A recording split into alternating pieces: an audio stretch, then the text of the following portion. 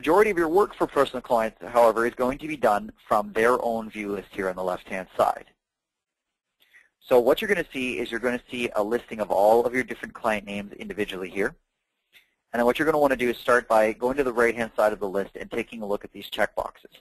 Our default steps may not match the way in which you organize or run your tax season. So what you're first going to want to do is to modify these steps. And you can do so by clicking the shoe prints here at the top labeled Define Process Steps. From this window that comes up, you can swap, delete, modify, and add as many steps as you require so it matches the way in which you run your tax season. Once you've had a chance to modify these, you can then begin filling out these items to match the way in which you uh, are working on things during your tax season.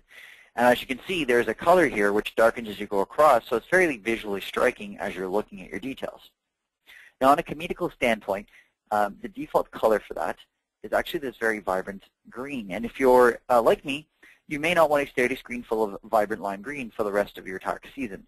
So you can change the color per computer by going to the upper right-hand corner of this list. There's an information bubble in the top right. And when you click it, it'll give you the following window so you can change it to your color preference.